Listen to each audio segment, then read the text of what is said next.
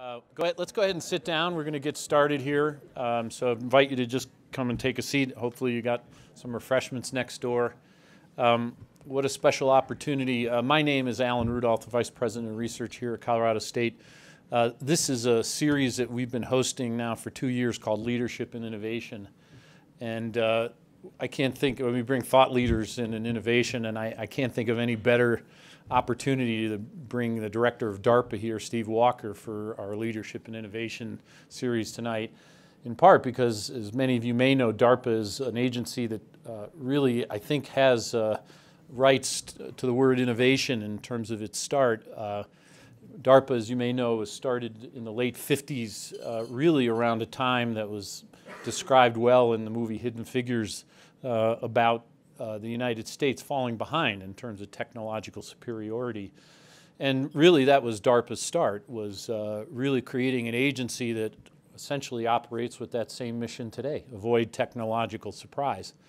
And they bring people in mid-career, uh, like myself in 1997, uh, where I had the joy of serving at DARPA for uh, about six years at a very formative time. And I think for people who serve at DARPA, it becomes one of those really special experiences, almost cult-like in uh, some, some ways. But uh, really an important agency that funds, still funds today innovation under that same uh, mission. And, and I think all of us are sitting here thinking about what those words avoid technological surprise mean today because they have very similar meanings today with different problem sets than they, ha they had in the late 50s. So we're really fortunate to have, I think it could be the first time we've had the director in Fort Collins at Colorado State. So I think it's also a signal about the importance and impact of the work being done on campus. We have a lot of DARPA projects that are being supported here now and a lot of faculty who have a lot of great ideas that go to DARPA uh, to seek support. So it's a, a, really opportunistic for us to have Steve Walker here. Let me give you a little bit of his background, then I'll turn it over to Steve. Steve uh, became DARPA's director in November of 2017. He served as a deputy director of the agency from uh, uh, October 2012 to December 2016, and as acting director from January 2017 through October 2017. Uh, prior to his return to DARPA in 2012, he had been there as a, a, um, a, uh, a program manager in the technology uh, um, systems office, but he served as a deputy assistant secretary of the Air Force for Science, Technology, and Engineering, uh, where he oversaw the investments the Air Force was making, um, which is sizable um, investments made in science and technology with a sizable size of uh, workforce and uh, application to military uh, science and, and operations. Steve was in the uh, DARPA, the technology, uh, tactical technology officer office. I'm sorry, as a program manager, deputy director, and director. Steve is a member of the Senior Executive Service and a fellow of the American Institute of Aeronautics and Astronautics. He received the AIAA Hap Arnold Award for Excellence in Aeronautical Management in 2014. He's also been awarded the Presidential Rank Award, the Air Force Meritorious Civil, Civil Service Medal, and the DoD Exceptional, Meritorious, and Distinguished Civil, Civilian Service Medals. He holds a PhD and BS in Aerospace Engineering from the University of Notre Dame and an MS in Mechanical Engineering from the University of Dayton. Please help me in welcoming Steve Walker.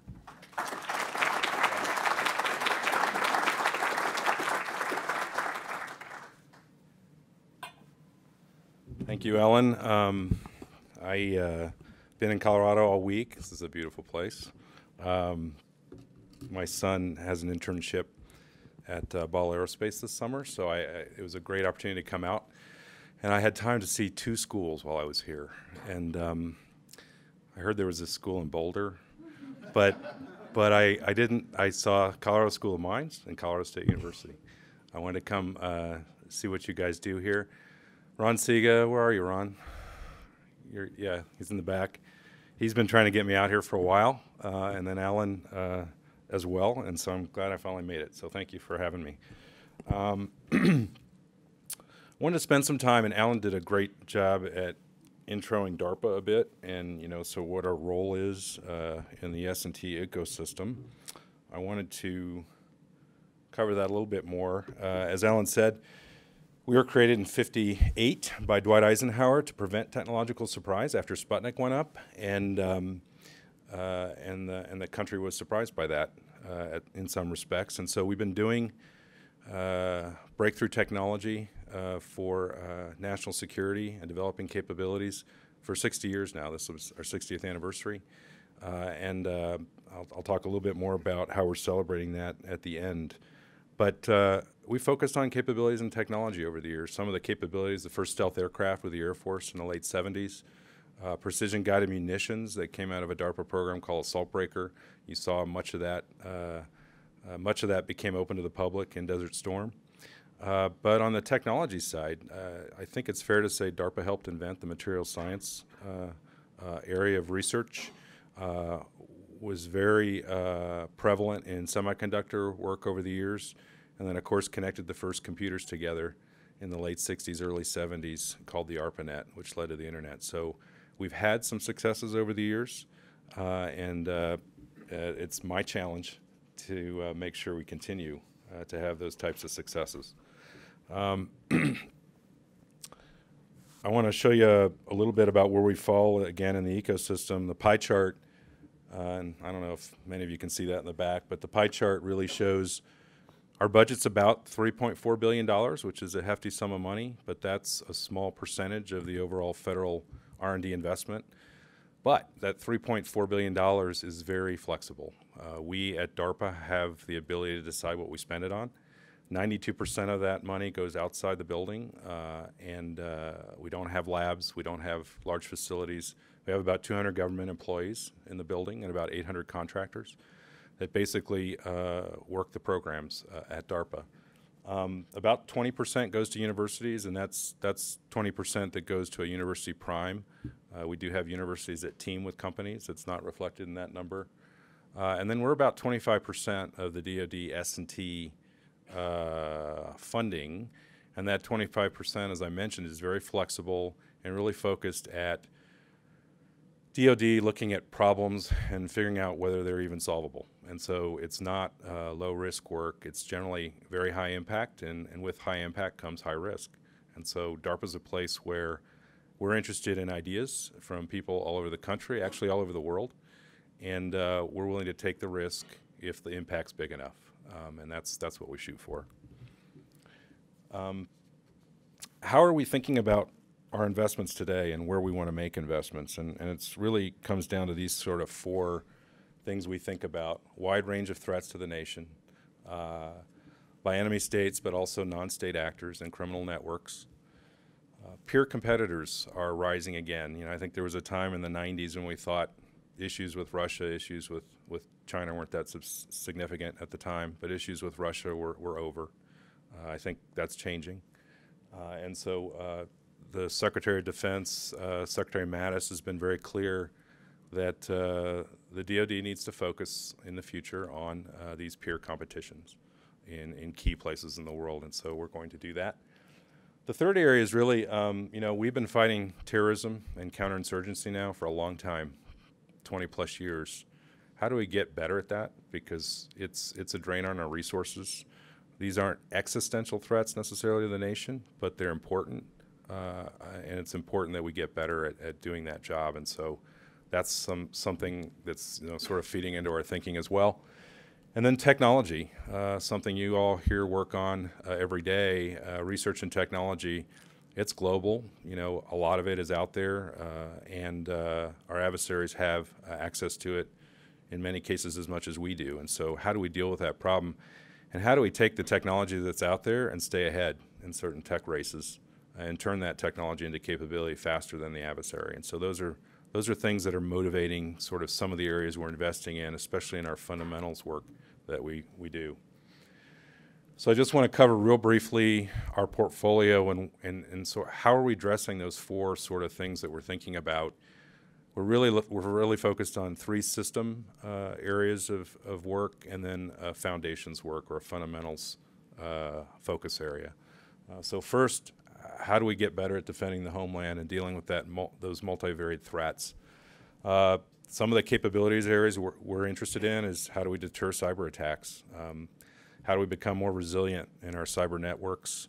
How do we uh, have a better situational awareness across the network and actually be able to attribute an attacker down to the person anywhere in the world who actually uh, uh, uh, attacked our network. And then how do we get better at cyber offense? And so those are all pieces of how do we deter people from attacking our networks in the future. Um, biothreat detection and mitigation. Uh, we're getting a lot more serious about, uh, and we talked about some of that earlier today. How do we detect biothreats to the country? These would be, you know, pandemics uh, potentially that are accidental or man-made, uh, and um, and things of that nature. Defending against weapons of mass terror is, is also a key area for us, uh, radiological, chemical, biology, uh, and then countering hypersonics. It's been well reported in the public press that, again, those peer competitors have hypersonics programs. Um, these, uh, they're having success in their flight tests.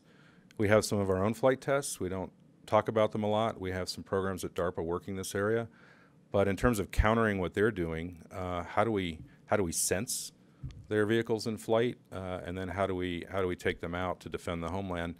Right now, they're hard vehicles to see because they fly at least five times the speed of sound. That's what hypersonic means. But many times it's it's closer to 15 to 20 times the speed of sound. So how do you see them in the first place? How do you detect them enough to target them, and then how do you how do you take them out? So that's a key area for us in defending the homeland. Uh, moving into deterring peer competitors. Um, adaptive lethality. So uh, the military folks in the room will have heard the term multi-domain battle and uh, and being adaptive in how we uh, distribute systems in order to fight the next war. That one, that's what that's about. So how do we do that air, land, and sea? Uh, space is another critical area for us.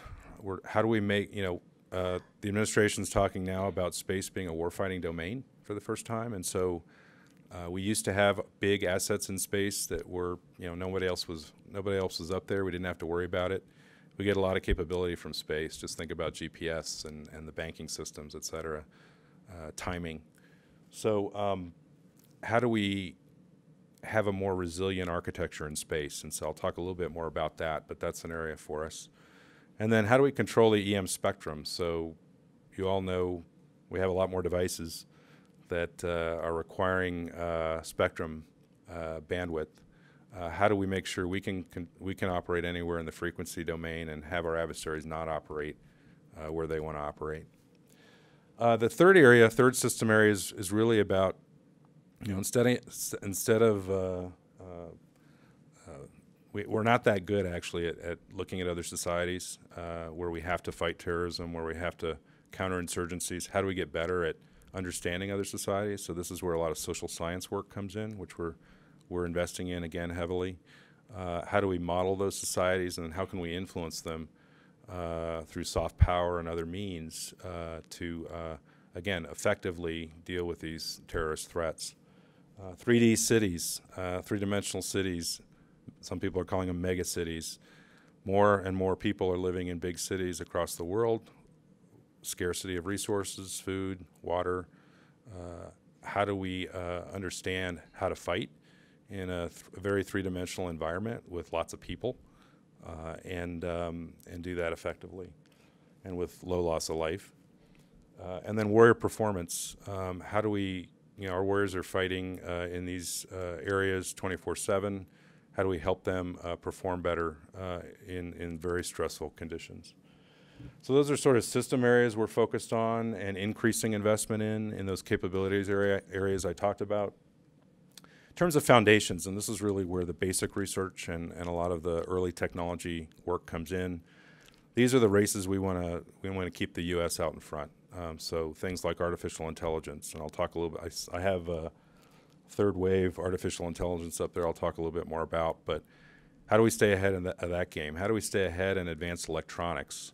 Um, how do we stay ahead in uh, things like uh, advanced materials? And so these are areas that uh, we very much want to uh, uh, be leading. Uh, many of these technologies will, will be available to all, but then how do we harness those pieces and bring them into the national security space to help defend the nation? so I'd like to just give you a few examples of some DARPA programs that we're working in, in several of these spaces. Um, and uh, and then I'll finish with how do we uh, how do you here in Fort Collins work with us? How do you work better with us If you've never, has anybody worked with DARPA in the room? Okay, a few, yeah, quite a, more than I expected. So great. Uh, but uh, you know, I'd, I'd like to uh, remove the veil of mystery a little bit, uh, and uh, you can always talk to Alan here about how to how to work with DARPA, but uh, you'll hear it from me directly. So, uh, talking a little bit about some biothreat, uh, biothreat detection and mitigation work um, in our defend the homeland area. You know, accurate information on what's happening uh, in a changing environment uh, to defend the homeland will be absolutely critical. Um, and so, you know, we try and continually sense the environment, uh, and we do that in more with more traditional means. Uh, you know, big RF uh, radar systems, uh, mechanical sensors. These things take a lot of manpower to operate uh, and maintain.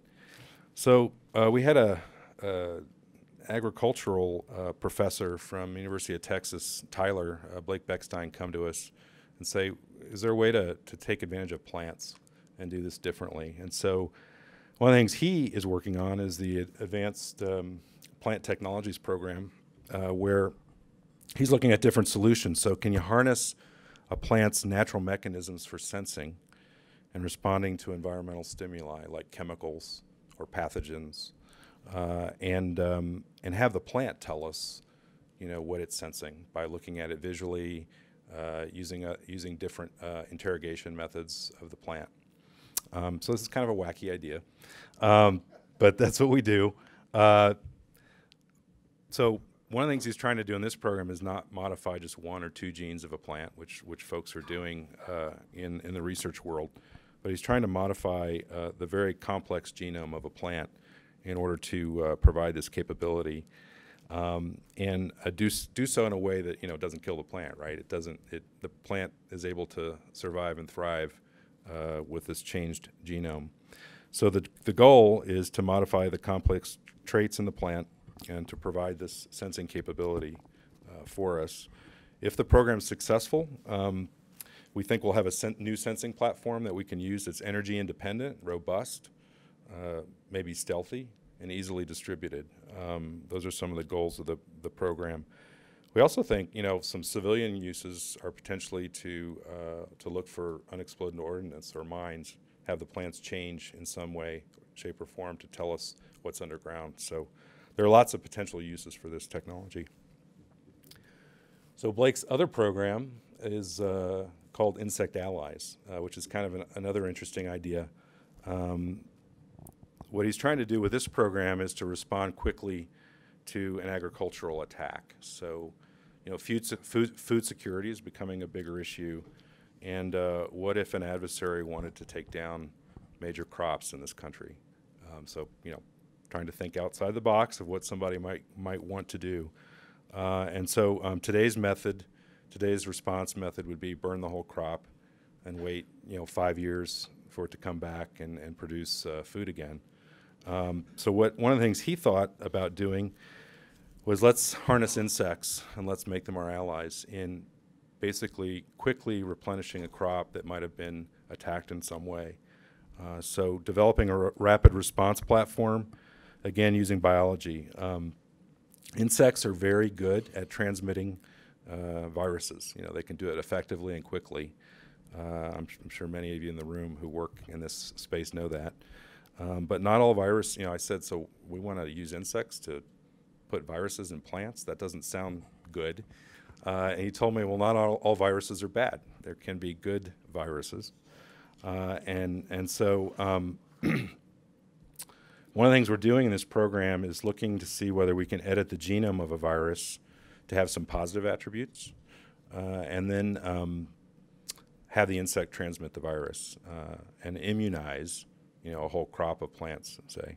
So the, the performers on this program, this, these happen to be UT Austin, uh, and um, what you're seeing here is a picture on the left of a viral of a virus, uh, circular virus, and one of the things the, the gene editing technique will do is uh, take that circular virus, turn it into a linear uh, virus there. The cargo the red piece is the piece we care about. Uh, and if you make it linear instead of circular, you can get it into this factory that apparently is a part of every aphid uh, insect. Uh, and uh, these factories then will produce um, these positive viruses uh, in a in a in a at scale. And the aphid, I'm told, uh, instead of chew- chewing plants, it, it has sort of a, a needle, a hypodermic needle that it sticks into the plants and transmits uh, the virus that way, and then sucks out the energy from the plant uh, to uh, to eat. Uh, and so the idea here is to have the aphids uh, basically uh, spread a good positive virus throughout a plant to help protect it quickly. Again, using insects to do this quickly. So um, this is a video I'm going to show you. Um, I don't know if the lights can be turned down at all, but uh, do you guys know where the light switch is? Maybe it's right here. There you go. I'll show you this video. It's a video of a tobacco plant. Uh, in the upper left-hand corner is just a, a backlight and a, a leaf of another plant, but you'll start to see the plant show up. Uh, and what we've done is we've uh, created this tobacco uh, mosaic virus. We've injected it into the plant, uh, and um, we've got a green fluorescence in there to show the virus spreading throughout the plant. This was done with an, an aphid. So um, video's playing, and you should start to see the plant show up through the green fluorescence that uh, is spreading through it, throughout it. I don't know if you can see it with the light coming through the window, but you can start to see it. So this is really early work at UT Austin to look and see how uh, useful this this transfer of a virus is to a plant through an insect. Um, and um, uh, I don't want you to worry too much because one of the things I worried about is doing this in the real world. Uh, what we're doing, the end, the end goal of this program is a greenhouse with 20 plants and 20 insects, and we'll see, uh, we'll see how this works. Um, but we're not doing this in the wild, and of course the USDA and I guess this place called U.S. Animal Plant Health Inspection Service. Uh, you guys probably know them.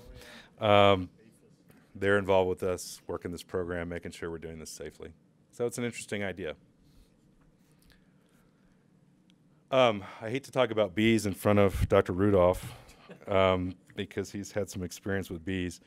But um, one of the things we're doing here is, uh, and this is not a bee program, but it's, it's a program looking at the microbiome and how it affects uh, the rest of a, of a host.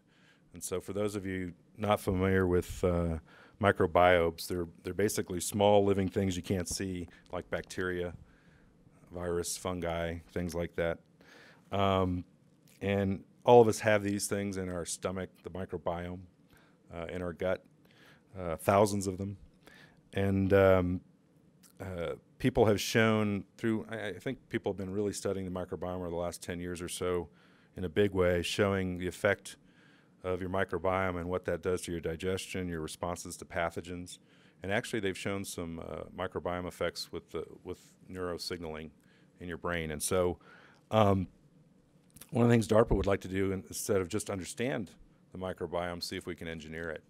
Uh, and so, um, what we're doing here is, uh, and you know, in case you're worried about that, the nice thing about a microbiome is uh, it's not like you're changing a genome. It's it's you can you can modify a microbiome and you can treat it with antibiotics to get rid of it. You can you know, get it out of the host. You're not changing the host by doing that. Um, but in this program called BRICS, we're looking at uh, we wanted to pick a social animal, so the PI picked a bee, uh, and uh, what one of the things they're doing under the program is developing a toolbox uh, to engineer the gut microbiome, and so they're using the bee as an example here.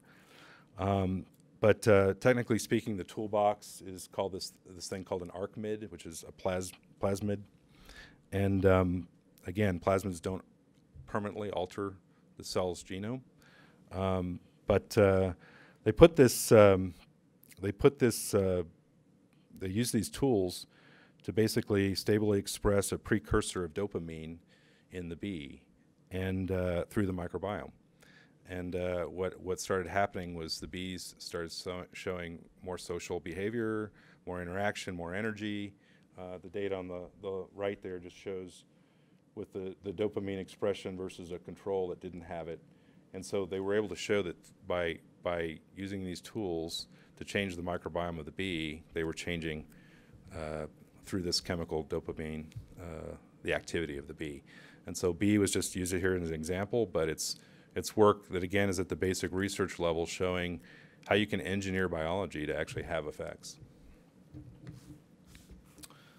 Um, and you know, this is a program near and dear to my heart because you know there's a lot going on in gene editing. I think DARPA needs to be in the gene editing space to prevent technological surprise in order to understand it, understand the technology. But Safe Genes is all about understanding how to turn a gene editor off if if something goes wrong. And so, uh, you know, you can think about folks using gene editing for nefarious purposes, but you can also think about people just having accidents and uh, doing something they didn't intend to do. And so um, this program is looking, it's, again, it's basic research program, but it's looking at can you reverse gene edits that you didn't want? Can you, can you develop countermeasures to actually have them not work? Uh, and um, can, you, can you do rem remediation if a gene editor was ever released into the wild? And so, uh, again, basic research, but I think it's a program that, that we need at DARPA to understand the technology, but also understand how to stop it. Um, I'm going to keep moving, but uh, moving into the system, system area number two, uh, deterring and prevailing against peer adversaries. This is really a, a again a, a, program, a challenge. Sometimes DARPA does challenges uh, instead of programs, and this is where we put put a challenge out to the world to say, hey, this, we have a hard problem. We're not sure how to solve it. We don't know enough to to be smart on this topic, and so we're we're asking for different uh, concepts, new ideas. This is one I mentioned before where, um, you know, lots of le electronic devices these days taking up more and more spectrum. Uh, right now, we use a system um, that's a century old where, you know, the government basically decides who can use what bands of the spectrum uh, for what purposes. And the PM here, uh, Paul Tillman, wanted to see where whether we could use new techniques in artificial intelligence to have a whole bunch of radios figure out how to use the same bandwidth in a collaborative way uh, and, uh, and do it without interfering with each other. And so what he's built here is a coliseum at Johns Hopkins APL where he can connect 256 radios in an emulated, uh, very complex environment, say a city, and uh, emulate, you know, uh, radio waves bouncing off of buildings, et cetera. Uh, and the culmination of this, and you can see the teams that are participating, most of them are university teams, but the culmination of this event is going to be um, in 2019, where he's going to have five teams with 20 radios each, uh, having to use the same bandwidth and do it in a very collaborative way using these AI techniques. So it's kind of an interesting, if you can actually do this, the FCC is following this program closely, and we could free up a lot of spectrum if this actually uh, works well. Uh, and considering, I don't know how many billions of cell phones there are in the world now, but uh, it keeps growing. But this is a, an unclassified open challenge, giving, you know, allowing us to see if this will work. Uh, but you can imagine using these tools and techniques to help the U.S. military uh, work in bands we want to work in and prevent our adversaries from doing the same. In terms of making space more robust, more resilient, um, this is a new program. This is a, the, the Broad Agency announcement is actually out on the street right now. Um, but you know, as I mentioned, the way we've done space, and we were able to do it this way because there were there was nobody up there threatening our assets. Build big, uh, monolithic space satellites, put them 35,000 kilometers up at geo. Uh, very capable systems, very expensive, uh, a billion dollars a piece in some cases. Uh, very expensive to launch, uh, and uh, and a lot of time to actually develop the satellite and put it up there. So how do we do this differently, especially since others are, are active in space right now? Blackjack is an idea we had where we want to take advantage of what's happening in the commercial world. So lots of companies are talking about uh, building thousands of satellites. SpaceX is a company. Uh, Boeing's actually talking about it. OneWeb. Some, some of the smaller companies are talking about putting up a space internet, essentially. And so this is going to require thousands of smaller satellites at low Earth orbit one of the things we want to do is take advantage of that economies of scale, you know, cheap space buses, put our own payloads on top of a subset of those uh, satellites, uh, and um, and do that for 10 to, if you include launch, do that for about 15 million dollars a satellite. And you can think about if you had the, this program is going to do 20 such satellites, but we think we could the operational system would be something like 100, depending on what you want to use the satellites for. You can think about worldwide coverage of um, sensing capability uh, and uh, an alternative to GPS potentially, uh, uh, an alternative to some of the timing uh, systems that we have on orbit now, uh, and some other missions. And so this would allow us to have um, a very affordable capability. I think it's more resilient because an adversary would have to try and take out hundreds of satellites part of a commercial network, uh, which is which is a little bit uh, off-putting. And so I think uh, we're going to try this. Uh, the Air Force has come on board. They're very interested in trying to do do their space differently, and we'll see what happens. But the demo will be about 2020, 2021. Want to go into the third system area a little bit, and I talked about very three-dimensional cities. Cities are, are becoming more complex. You can look at a major city and see the skyscrapers. What you can't often see is what's below. And so a lot of transportation system below, uh, uh, underground facilities. Uh, and so how do we how do we deal with that in cities overseas that we might find ourselves in? And so um, the sub-T challenge, subterranean challenge, is a new challenge where we've the BAA was out this this spring, looking at um, how do we get better at sensing the environment uh, underground without human intervention. So think think small robots, uh, think small drones. Uh, what are the communication systems that you're going to need to bring with you uh, to operate underground? And uh, and lot, lots of hard challenges. So one of the reasons we were at mines yesterday is we, we went and toured the Edgar mine uh, to see if that would be a useful facility to actually do this challenge. Uh, we're, we're making our way around the country to look at that. But um, this should be an interesting challenge. A lot of interest by uh, military uh, users, but this is completely open. So we put this out to the world, and then we'll see uh, what performers come in. Warrior performance. Uh, so again, Dr. Rudolph started a lot of the um, programs that we had at DARPA back in the early 2000s that were focused on uh, restoring wounded warriors and, and looking at revolutionizing prosthetics because back then they had a hook essentially when they were coming home uh, wounded. And so a couple programs came out of that. One was a, a really uh, high degree of freedom hand called the Luke. It's called the Luke Arm that is now for sale uh, through the Veterans Administration to for wounded warriors. Um, and uh, it's controlled using stepper motors and wireless technology. It's, it's a very, very good arm. Another thing that came out of that was actually tapping into the motor cortex of the brain and actually being able to control the, the, uh, the prosthetic uh, just by thinking about it. And we, we did some experiments with folks who were willing to have brain surgery, uh, and uh, they proved very successful. Um, but again, not everybody wants to have brain surgery. So this program was was HAPTIX, and the idea here was to instead of tapping into a person's brain, tap into the remaining nerve endings that may be in the uh, stump of the arm uh, that maybe still work, uh, and maybe there's some nerve endings there that aren't working anymore, but stimulate them in a way to have them pass pass uh, information back to the brain, and then put sensors in the the uh, automatic hand, the robotic hand to allow a person to actually feel feel and have that sensory perception come back through the nerve endings back into the brain and be able to have much more uh, control in that hand. And so, I don't know, most of you are younger in the room, but I know I watched The Six Million Dollar Man in the 70s. We're actually seeing it um, now, and I'll show you a video of, of this in action.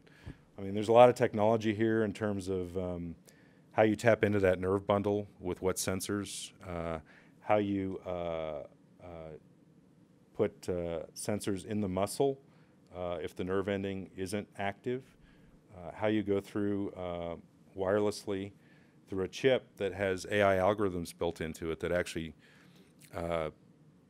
describe what a person should be feeling and, and what that should do to the nerve to pass that information back up to the brain. So a lot of technology in here. Um, this is uh, Kevin, who is one of our human subjects in this program. I will tell you that's a that's a um, a raw egg. It is not hard boiled. Um, but what this is going to show you is uh, this idea of being able to sense through this robotic hand and the, the, the agility and the flexibility that gives him to actually pick up a raw egg and do something with it. So.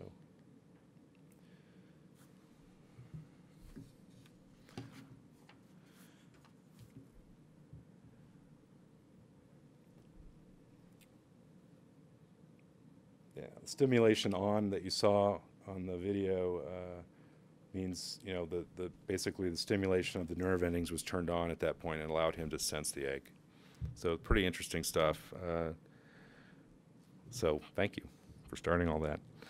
Um, I want to move into the information piece a little bit. Uh, DARPA, there's a lot of hype about AI right now. Uh, DARPA thinks about AI in three waves.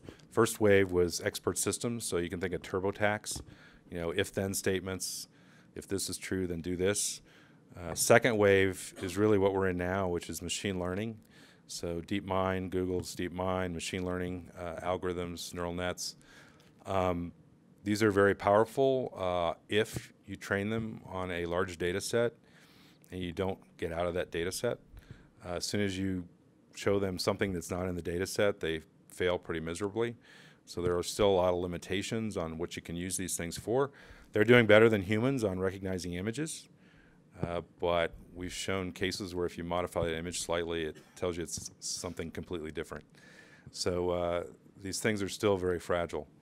Um, one of the things we're trying to do in third wave, which we, we believe is, is, is the future, is how the human and the machine interact uh, and, and, a partnership, and, and, how the machine can help the human understand what it's actually really doing. And so this is a program called Explainable AI, where I don't know if Dave Gunning's in the room. I don't think he is, but he's a program manager of this, where you know today's machine learning is on the top it'll tell you it's a cat with a certain probability, but it, it doesn't tell you why it's a cat. It doesn't tell you uh, whether it could be something else. Uh, it doesn't tell you when it fails. And uh, it's pretty much a black box. And the human has to trust the black box. Well, warfighters don't like to trust machines anyway. But what we want to do is, is get a machine to tell them why it's a cat, because it has fur, it has whiskers, it has ears, pointy ears. Um, uh, we want them to tell, you know, we want them to tell the human when it when it thinks it's succeeded. We want to tell the we want it to tell the human when it thinks it, it's confused, when it when it's when it's failing. Uh, that's almost just as important. So this is a basic research program focused on you know trying to understand. You know we've got psychologists involved in this, uh, computer scientists, uh, a wide variety of folks looking at how to make this interface uh, much more transparent, which I think is going to be required uh, if we're going to trust AI in the future. Uh, related to AI, we have another program called Lifelong Learning of Machines, and this is really about uh, helping machines get better when they do go outside outside the bounds of what they were trained on. So, on the left, you see what we're trying to do here, and this is just very conceptually, and this this is basic research. It just started, but you know, a machine that's trained on a certain data system is really that orange curve. And once it's fielded, once it's out in, in operation, it can't get any better. It's, it's only as good as the data it was trained on. What we're trying to do is get up the green line where we can actually have the machine improve as it goes along. And maybe if it sees small extrapolations from the data it was trained on, it can understand how to improve itself. On the right hand side, we're looking at what happens when you get way outside the data uh, data set and the machine is surprised. Today, what often happens is the machine will give you a, a very bad answer uh, and it'll, it'll tell you that's the answer. Uh, what we'd like to do is say, instead of that, how do we, how do we help the machine adapt to a changing environment and be able to uh, tell the, again, tell the human that it is adapting, it's in this, it's, it's, it's in this learning phase, and, uh, and uh, help give the human a better a better answer. So Um, again, this is very basic, basic research.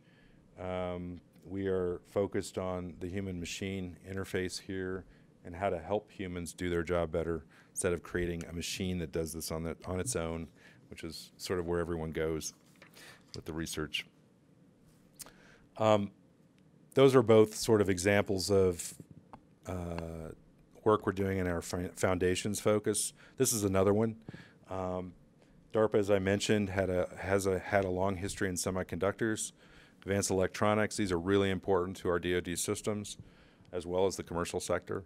Uh, for those of you who don't know electronics, it's really been guided by something called Moore's law, which which basically says you can double the number of transistors on your chip uh, every 18 months or so. We're getting to the point where that's becoming harder and harder to do just physically. Uh, and also the design costs and the manufacturing costs on these chips. The more transistors you put on them, uh, really those costs are, are, going up and taking much longer to do. And so the commercial sector is uh, is realizing that, that they may be coming to an end in this in this uh, in this Moore's law, um, which has really supported the industry all these years. The other thing that's happened is China, uh, again, one of those peer competitors, has decided this is going to be a major area of emphasis for them. We are still way ahead in design, way ahead in manufacturing.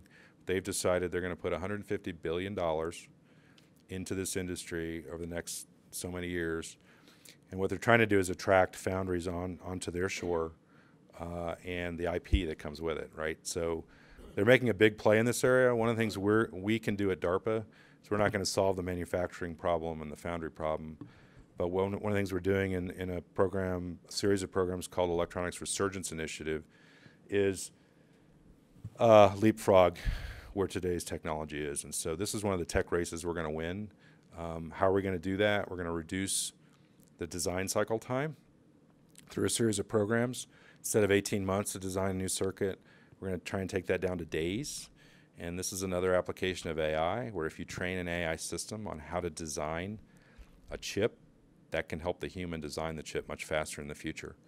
Uh, the other thing is three-dimensional chip structures. So instead of a, just a 2D substrate, uh, putting more on the three-dimensional uh, uh, axes of a chip, uh, getting more processing power for less for less uh, cost and less power, less energy uh, are some of the ideas that we have. There's about six new programs starting in this space.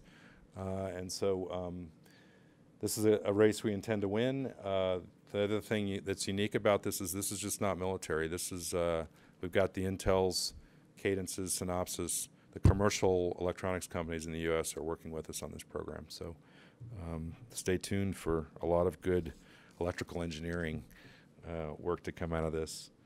Um, again, in our foundations portfolio, this is just a fun new basic research program looking at new ways to compute. So instead of uh, the von Neumann computing that we, we've all come to enjoy and rely on, uh, we're looking at could you actually use uh, molecules? Uh, we think we can use molecules to, well, we know we can use DNA to store data very effectively. Uh, how do you pull the data out is, is can be time consuming. But can you use molecules to store data, and then can you use molecules to operate on each other to actually do the computing? So this is a very 6-1 basic research effort. But again, this is DARPA scratching the surface at a, a new way to do something. We don't know if this is going to work. It probably won't, but we're going to learn some things from this. And oftentimes what happens at DARPA is the second, third, fourth program that started in a space actually actually comes through with the impact. And finally, the final example I'll give you uh, in foundations is social science. So I mentioned we're getting into social science in a big way. One of the issues we see with social science is its repeatability, uh, its robustness sometimes. Uh, lots of experiments are done, lots of research or uh, results are reported on, uh, and, and lo and behold, everything's successful. Uh, but, but we still don't understand how putting one, two, and three people together equals a crowd. We don't understand uh, collective identity in many cases. And so one of the things we want to do on this circle is do better modeling, but then also have uh, the PIs that are part of this program uh, pre-register their models, pre-register their predictions, do the experiments, uh, and then open that those results up to the community uh, open up the tools they used, the materials they used, and then keep doing this to see if we can get better replication, uh, better re- reproducibility in this community to be able to use these tools to more effectively model a society uh, and be able to uh, predict outcomes of that society given uh, given things that might happen there essentially uh, you know related to the whole counterterrorism thing I talked about earlier. So those are just some examples. We have 250 programs at DARPA. Those are a few uh, that touch on different areas that we're working in, some examples of what we do. Um, I want to talk to you a little bit about. Oh,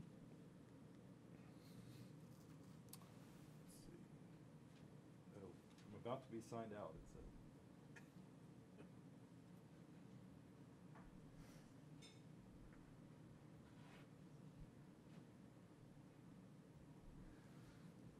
It says Windows gonna Windows is gonna shut down in 10 minutes. So. but these slides are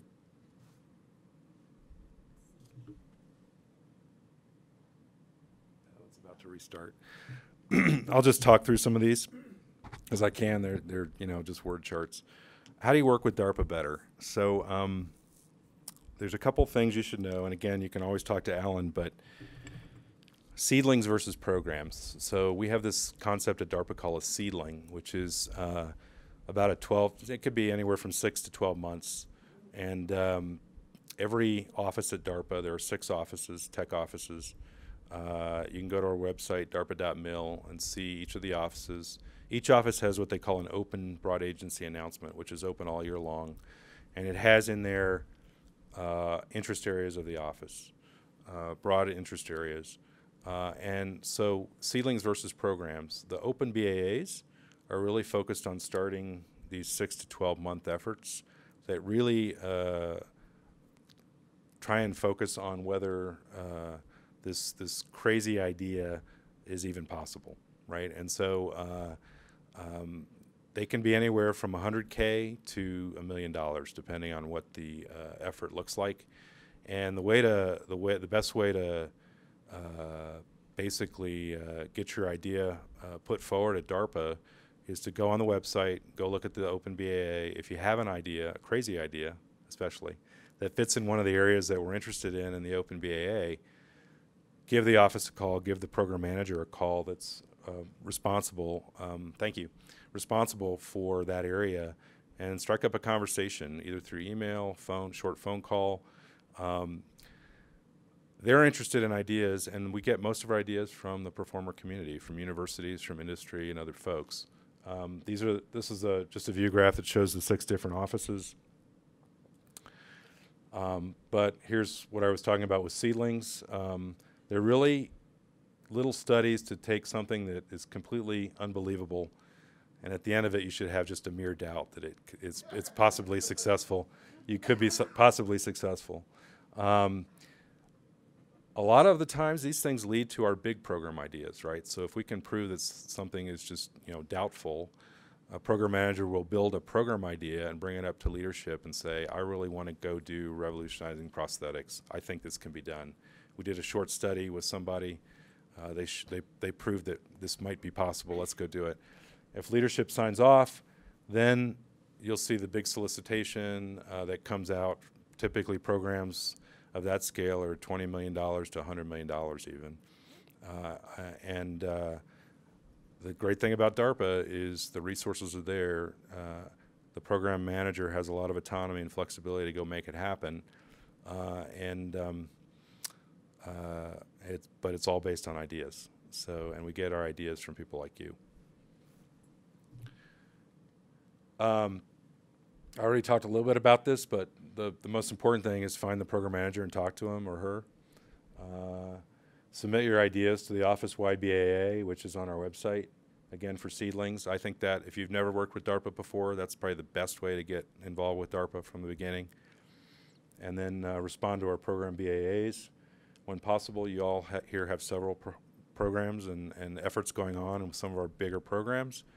Keep doing that. Um, we stood up this biological technologies office about four and a half years ago. Uh, lots of young PMs there with, with ideas. Uh, a program coming out soon to look at uh, some gene editing techniques for a soldier to provide a temporary uh, protection against a, a chem bio radiological threat. So lots of interesting ideas. But when you submit a an abstract or a proposal or even talking to the PM, this is kind of how you have to describe what your what your idea is all about. It's called the Heilmeier Catechism. This is something we live and die by at DARPA. Heilmeier was a director back in the late 70s. These are very simple questions, but it's amazing how hard they are to answer sometimes. And sometimes the pro- the question that typically trips most people up is what are you trying to do? What is the what is the problem that you're trying to solve? And just articulating that in plain English uh, sometimes is difficult. Um, not only for the, the PIs out there, but also for the program managers coming up to leadership. Uh, how's it done today? So we want to know sort of how your idea compares to what other people are doing or what's been done, and what's new about your idea, and then who's going to care uh, if we go do this and we're successful. How are you going to measure your success? So through some midterm and final exams, what are the metrics that you'll show us along the way that explain uh, how you're doing? And of course, how much is going to cost and what's it going to take? Uh, you know, the thing on here uh, that is the biggest deal for us is if you are successful, what difference is it going to make? Low impact stuff, we're not that interested in. If you're going to change the world with your idea, that's what we're interested in, DARPA. So that's what you, those are the ideas you need to think about and bring to us, and we'll work with you. Last chart, uh, DARPA is 60 years old. We are having our D60 conference in September, September 5 to 7 at D in DC at the National Harbor. Uh, sign up on the website if you're interested in coming. You'll learn a lot about what DARPA's done in the past, what we're doing today, but more importantly, where we're headed in the future uh, and you'll hear you'll hear for some some greats from the past. Uh, some of the people that invented the internet will be there talking about it, uh, and uh, it'll be a fun time. So, with that, I am going to get off, or I'm going to actually open it up for questions. Uh, happy to take questions from anybody about how DARPA, how DARPA works. You know, now's your chance. Thanks.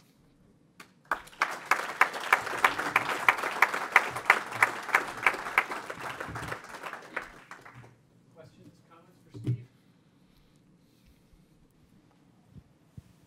Are you hearing anything about drones? They're certainly big commercially. Is that something working on? Yes. Um, we um, it was on my uh, chart there, but we we did we did the first drone uh, that led to the Predator aircraft. So we we've had a, a history in the air vehicle drone uh, area for sure. Probably the last. It's, it's hard to consider it a drone because it's so big, but one of the last things we did was um, an autonomous ship.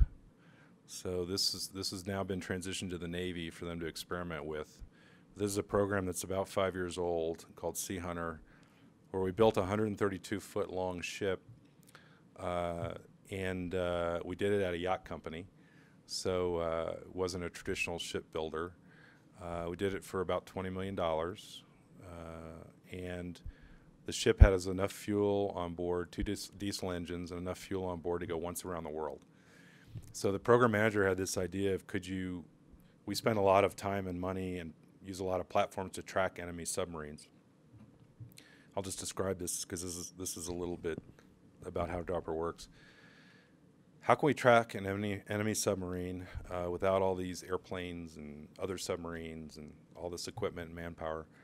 So he had this idea of this autonomous ship that could go once around the world and track a submarine stay on it and report back to the Navy you know, what it was doing. Well, the Navy absolutely hated that idea um, for lots of reasons, but they, they thought it was too provocative or whatever, or it got rid of their airplanes and people. I don't know.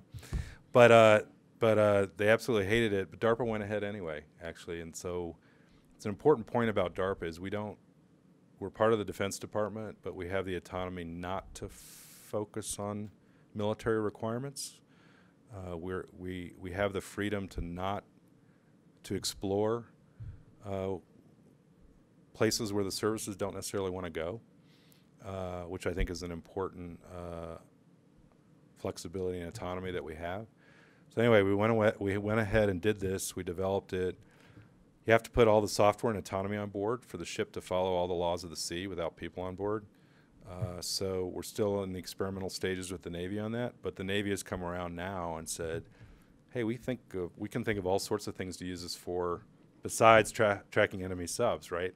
Logistics, counter mine, mining operations, uh, some classified missions. So it's it's um, this is a story that repeats over and over uh, with DARPA and the services, and uh, so that's our latest kind of drone thing. Um, the Sub-T challenge is going to be all about how we how we operate with robots underground. So, yep.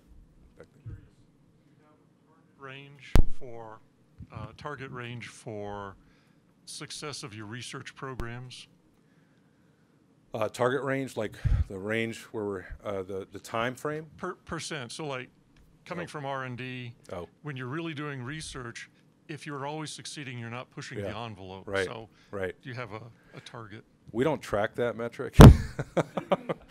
we don't. We actually don't track that on purpose because we do get asked that a lot, and um, we completely agree with you that if you're if you're trying to hit 90% of a transition, or you know, transitioning 90% of what you're doing to the services, we're not thinking big enough. So um, we actually don't track it, but we do. What we do is try and tell stories about transitions that were successful. Uh, but as I said, we're, we're really focused on high impact. And so my former boss used to say if we could do high impact, low risk programs, she would. Uh, but but the, the high impact programs tend to be very high risk, and many of them don't work. Yep.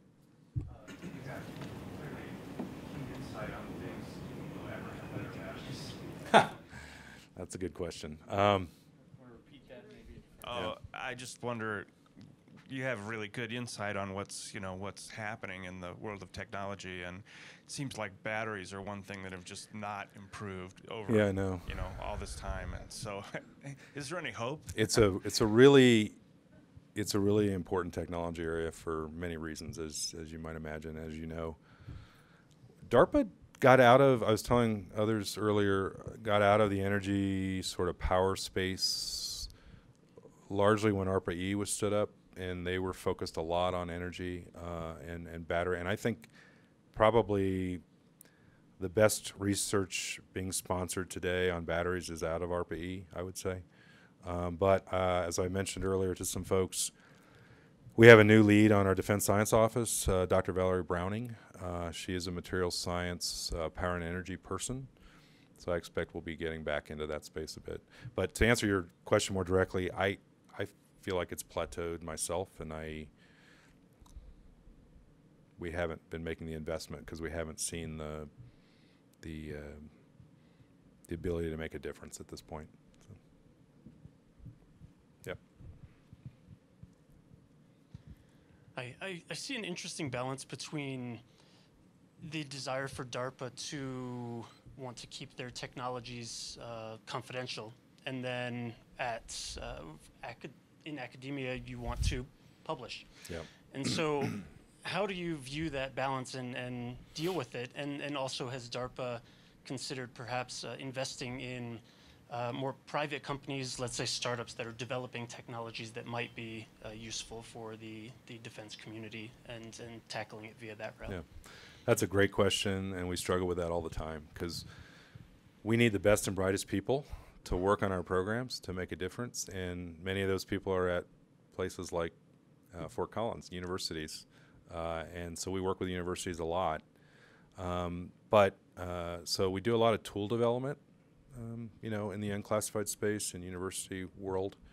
Uh, we actually, um, uh, just an example, um, some of our uh, software development that we do in our information innovation office, uh, cyber, cyber world.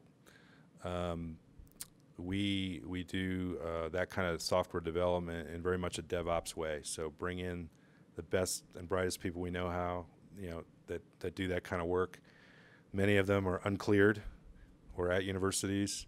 Bring them in for summer camps uh, and and we have them develop the code, and but we actually give them problems that are supplied to us by um, warfighters and others who have interesting applications, right? Um, and so um, it's a balance. We, we want to do the best work we can with the brightest people. Um, ideally, we get those people to work in DoD uh, and uh, in classified spaces. Sometimes we can do that, but um, we, we try and balance the best we can. Um, oftentimes, we can se- separate the tech development from the application. So that's what we, we try and do.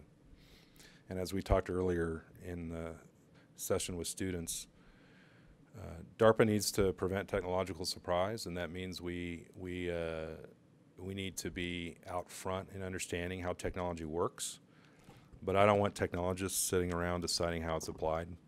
Uh, that needs to be a bigger conversation with warfighters, but also uh, legal folks, policy folks, ethicists uh, at the table. So we have, especially in our neuroscience and our gene editing areas, um, and also in some of the information work where it touches on privacy, we bring outside experts in to look at all of our proposals and make sure that um, you know other people are involved in that discussion. So.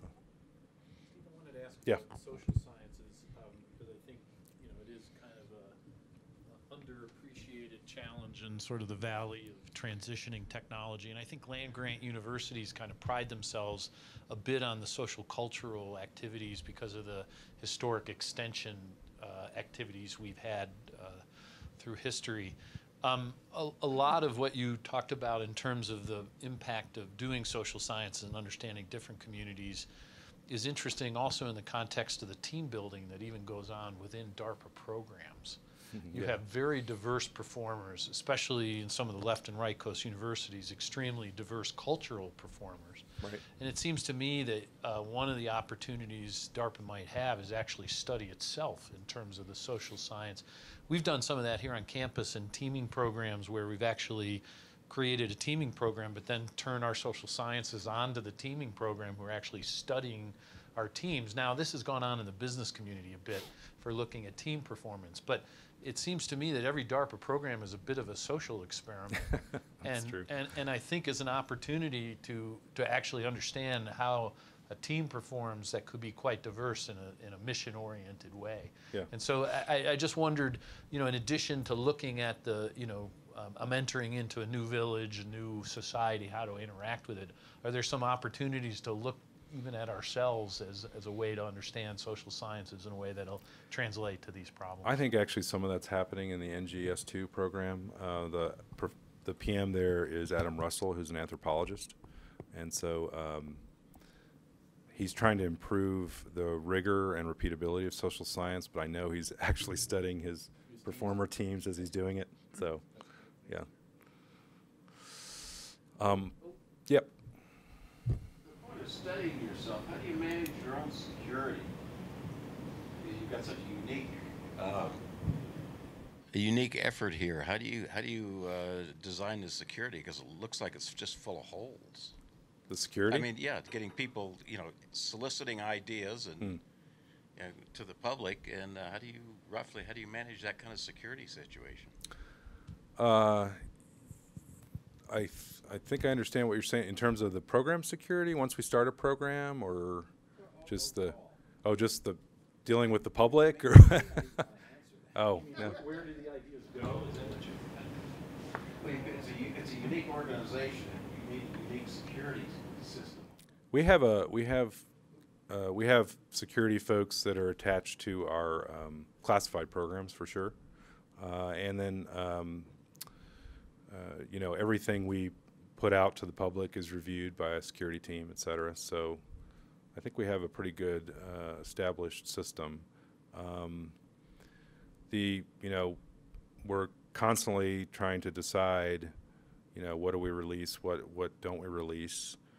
Uh, but I think you know we are a transparent society, so we uh, we err on that side of things. Um, but if it's classified, we have to keep it classified. Yeah, You don't work in the energy and renewable energy space, or? we're not currently that much. Uh, we again we we have had programs in that space in the past, but uh, we a previous director, when ARPA E was stood up, sort of decided we'll, we'll let them focus on that. Um, I understand, you know, their mission may be changing too, and so we're, uh, we'll only take another look at it, but uh, we're not, we don't have a lot there currently. You guys don't have a blooper reel? Uh, we actually do. If you want to, uh, one of our last big challenges was called the DARPA Robotics Challenge, and you could probably search on YouTube for it. But uh, the the idea of that program was to develop uh, humanoid robots that could go into a place like Fukushima, turn valves, open doors, do things that humans would normally do, but you can't send a human in because of the radiation environment. So really cool program. The program manager had teams from all over the world participate, build these really weird looking humanoid robots. And it's probably on YouTube, but you can see how well they did. They didn't do so hot. So, yeah.